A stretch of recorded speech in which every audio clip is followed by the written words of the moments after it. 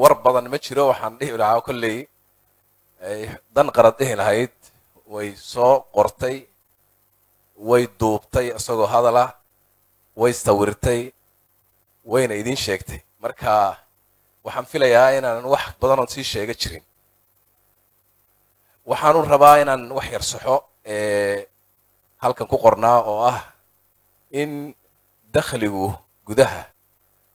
uu kor u kacay labaatan iyo shan boqolkiiba ma aha. konton iyo lix ayuu kor u kacay boqolkiiba.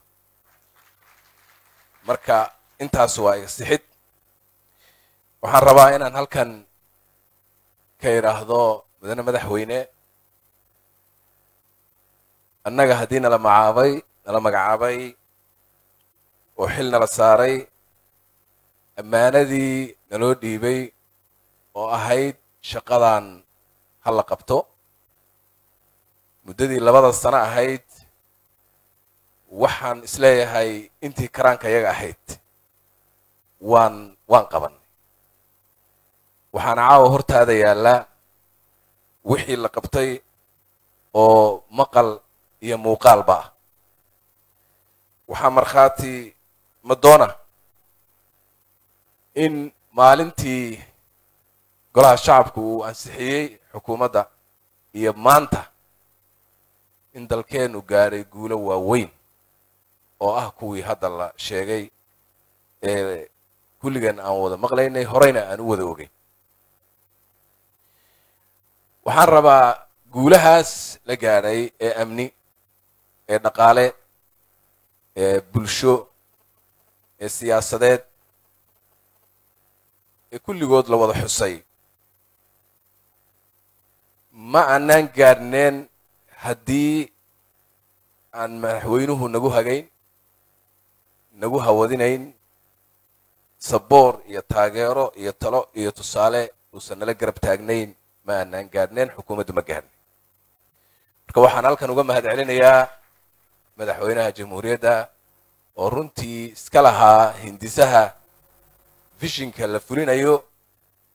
iyo aragtida la fulinayo ee laga soo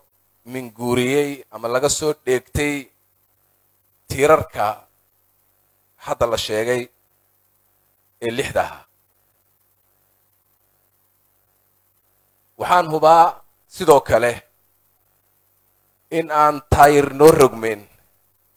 oo aanaan hadday tahay dayn cafintii iyo haddii ay tahay hubka qaadistii ama cunaqabatayntii hubkee la qaaday iyo haddii ay tahay security councilka oo aan ku biirnay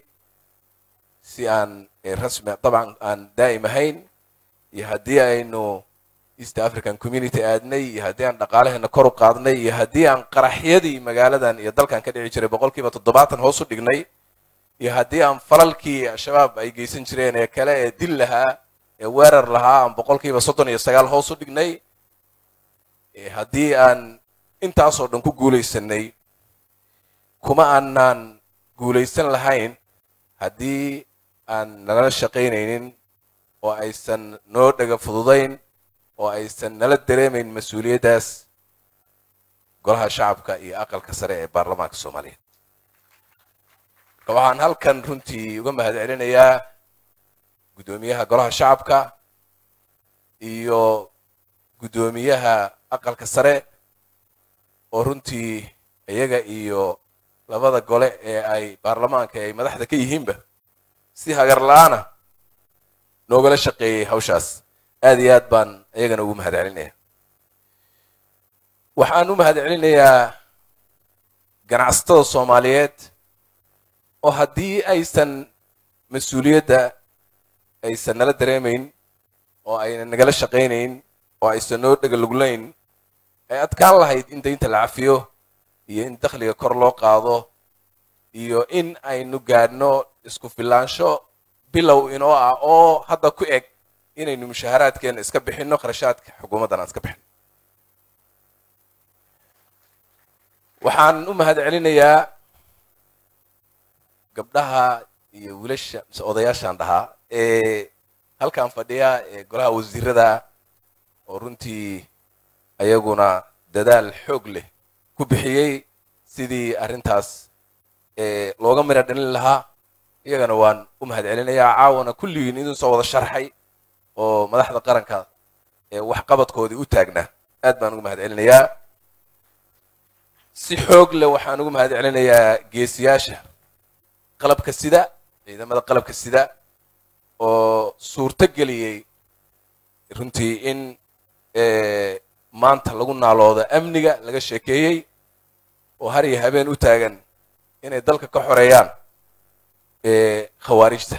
sheegay waxaan filayaa xuseen imaan haddaan idhaahdo xuseen imaan wuu mahadsan yahay. In fara badan waxaa la madaxweynuhu uu ugu baaqay oo aan xukuumaddu ay ugu baaqday oo madaxda qaranku ugu baaqday oo shacabka soomaaliyeed ugu baaqeen oo culimmada soomaaliyeed ugu baaqeen anigoo culimmada aada ugu mahad celinaya in ay wiilasha soomaaliyeedeed sheegtay ee dhibaatada ku ah dalkan iyo ummaddan dowladnimada iyo nolosha ummadda ee hal maalin dad ka ku dhow shan boqol lix boqol dilay dadkan ka laayay ee weli dhibkii wada waxaa in badan loogu baaqay inay iskaga yimaadaan oo ay dadkooda iyo dalkooda iyo ahalkooda ku soo laabtaan iyagoo nabada oo la soo dhoweey haddana waxaan u malaynayaa isma beddelintaasi waxaana daliilku u ah intii timid ee iskaga timid oo dhani qarankooda ay qayb ka yihiin waana joogaan ayagoo sharaf leh mas'uuliinah dalkooda jooga karaamaysan cid maxaan ku dhahaa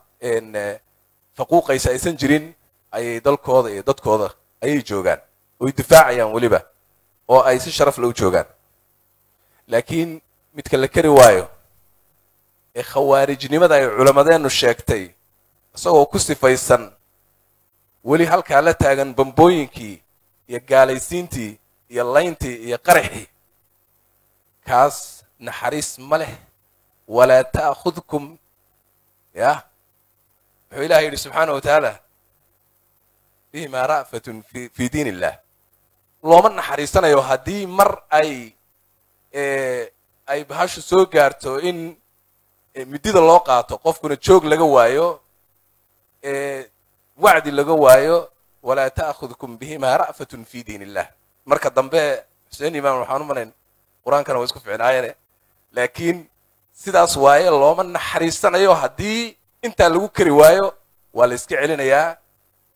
waa la gubayaa waana la naaraya marka waxaan mar kale ku celinayno inay soo waantoomaan madaxweynena waa joogaa isagaa iskale khudbadda anugu oo martiinoo caawa. Mudane madaxweyne waxaan mar labaad kaaga mahad celinayaa inaad caawa adiga iyo madaxda kaleba nagala soo qayb gasheen. Waxaa naga go-an haddii ilaahay idhaahdo inaan horay u sii soconno hiigsiga yagu waa dheer yahay hayaanka yaguna ma dhowaa. Waxaana rajaynayaa inay noo muuqdaan ay noo muuqato soomaali cagaaran oo qurux badan oo barwaaqaysan oo nabada. Way noo muuqataa waa aragnaa waa u jeednaa. Malkooyin yaryar iyo waxoogaa yaryar oo karkashina ka sokeeya intaasna waxaan rabnaa inagoo iswadanna ood adugu baabuurka hogaaminayso inaan ilaahay idankiis ka wada gudbayno dadkeennuna baabuurka si fiican u qabsadaan. Aad iyo aad aad u mahadsan tihiin dhammaantiin waxaan rabaa inaan ku soo dhaweeyo guddoomiyaha golaha shacabka siduu madaxweynaha ku soo dhaweeya mahadsantihiin